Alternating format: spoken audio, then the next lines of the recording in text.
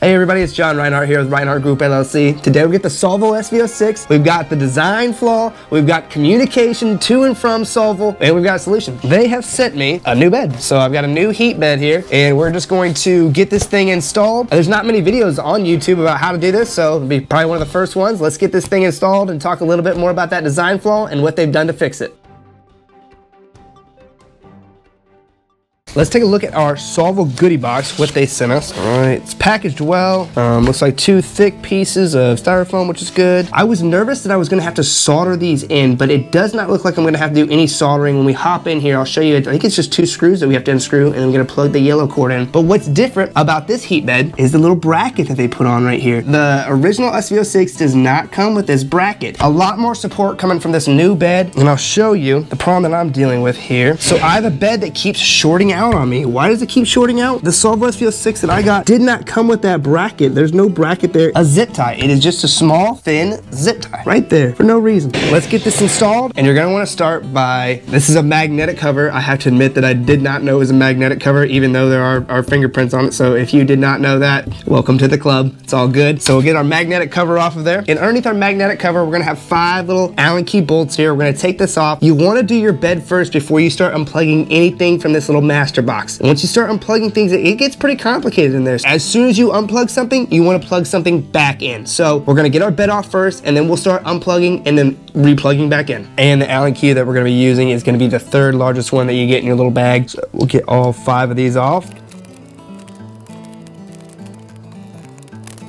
Get all five of those out, and let's take a look at this. It's also worth noting that there's little spacers that come with each one of these bolts. I'm going to just put them with my bolts. They are not attached to your bed. Just put them over here, and we will place them back where they need to be. But you can see right there, I mean, there is, there's no bracket. There's nothing. It is just a zip tie that has allowed my wires to chafe to the point where it just doesn't heat the bed up anymore. And then now it's time to get into our little little master box, our little fuse panel. Let me get my hat turned around for this one. And you'll see where it says on and off on there. You're gonna use the second biggest Allen key that they give you with the SV06. And we're just gonna plop her in there in a few turns. It should open up just fine. That opened up, let's flip it around. And then you can see in there, what a nightmare. Let's get this disconnected and then reconnected here bear with me as I try to explain this mess here. So what we've got, we've got a zip tie that we need to snip right there. You get a pair of snips that come with your little kit. Find your wires here. You got two yellow, a black, and a red. Inside here, you can see the middle ones, the ones that don't have any lettering or anything written on them. Those are your black and red wires. So the second black one down and then the third red one down are going to be the wires. And they're just little flathead keys. So you have a, a flathead screwdriver that comes with your kit as well. And then we're going to trace our yellow wire up way back into here. And you can see it's just something that pulls out out. It'll pull right out and then you'll push the new one in. There's nothing that you need to clip or anything like that. Got my new heat board, got my own new little cords here.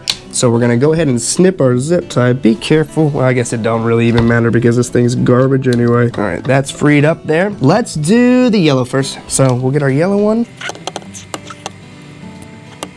Our yellow one is properly attached. And now it's time to use our little screwdriver here. And we're gonna unscrew on those little, they're the bolts that are holding the little electrodiodes in place. We'll go ahead and unscrew those. And it's gonna be the second black one down and the third red one down here.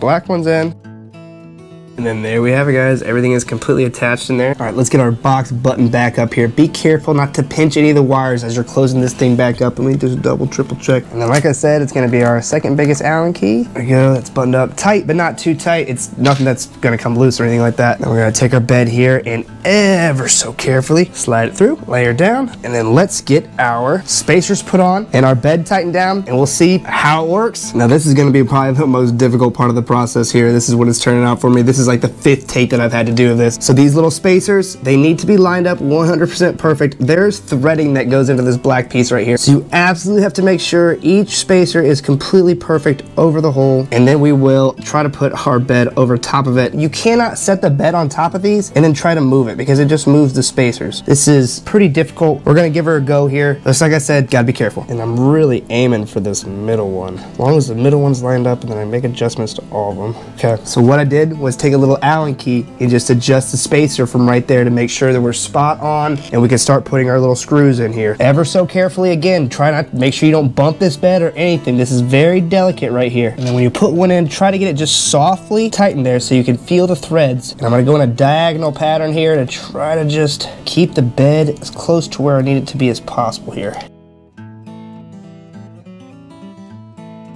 Everybody is snug as a bug. That's a great feeling right there. Glad to have that done. That was a that was a nightmare. That was not easy at all. And then we should be good to put our little magnetic cover on here and get things rocking. We got everything back together. The plate is on the bed. Printer is plugged in. Let's turn it on and see what we're gonna get out of it. Hopefully the bed heats up. We are just going to go to prepare, temperature, bed, and let's crank her to 60 degrees. See what we can get out of it. Okay, there's 30 degrees, 31, 32.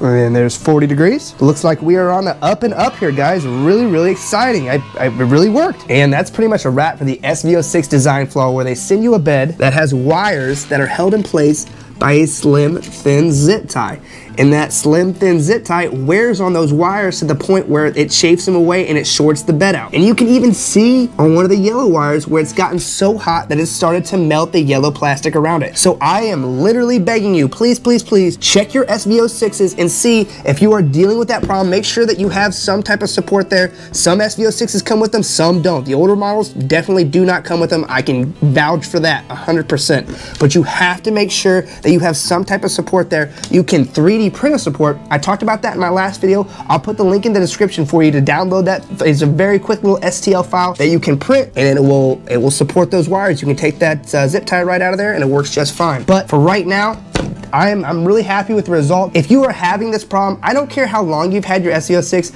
I genuinely believe that Sovol will just give you a new printer bed. They should have never, ever, ever sent printer beds like this. And the fact that I'm starting to see those wires start to kind of get too hot makes me really think that this is a possible fire hazard as well. So I can't tell you enough to really, really check the printer beds on your SV06. If you don't want to go through the hassle of getting a new printer bed sent to you, just print that little STL file and it works really, really well. If you guys have any additional additional questions or you're dealing with any other problems that are just you don't have an answer to, please put them in the comment section. But for right now, this is John Rinehart here with Rinehart Group LLC. Thank you guys so much for watching, and I'll see you next time.